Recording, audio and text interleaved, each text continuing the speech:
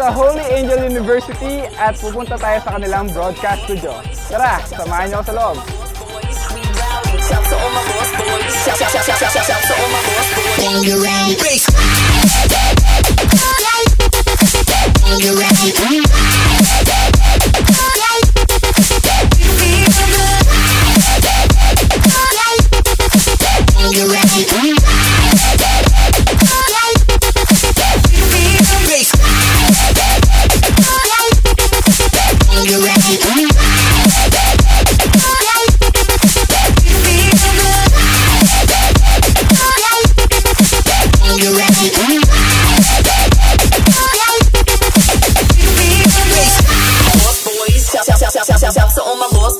we rowdy. Chumps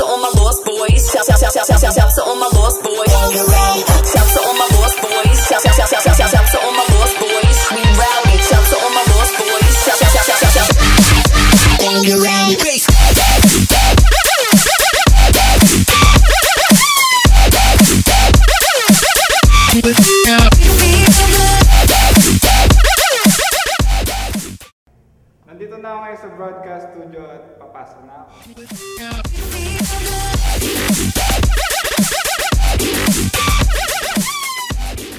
Nandito tayo ngayon sa loob ng broadcast studio at kasama natin ngayon si Mr. Villamor Candelaria, isang studio custodian. At Sir, ano nga pala ang broadcast studio at anong mga ginagawa dito? ang broadcast studio dito dito ginagawa ang ah, actual application ng mga mass comm student sa kanilang mga natutunan sa classroom tulad ng newscasting, photography at iba pa. Tapos na ang broadcast studio at punta naman natin ang control room. Tara!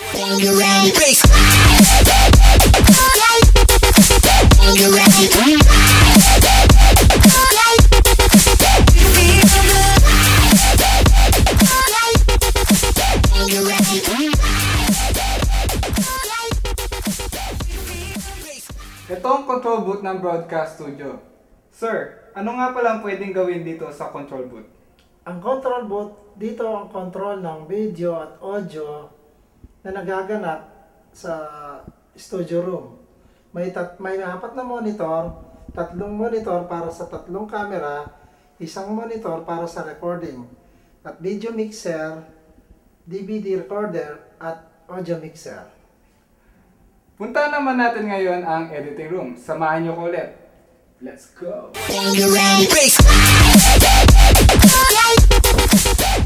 Ito ang editing room ng broadcast studio. Kasama ko ngayon ulit si Sir Billy para mag-explain kung ano ang ginagawa dito. Sir, ano nga pala nangyari dito sa loob? Dito sa editing room, dito ginagawa ang mga post-production tulad ng digitizing, ingesting, voice recording, at iba pa. Dito tinatapos ng mga mass comm student ang kanilang mga project para sa kanilang final output. Kapag gusto ko magpa-reserve ng broadcast studio, sir, paano ito pinoproseso para magpa-reserve? Fill up the application form, pipirma ng mga authorized signatories, re-reserve, at pwede nang gamitin ng broadcast studio. So narinig niyo yun mga estudyante ng Holy Angel University. Pumunta na kayo at magpa-reserve dito sa broadcast studio. Bye!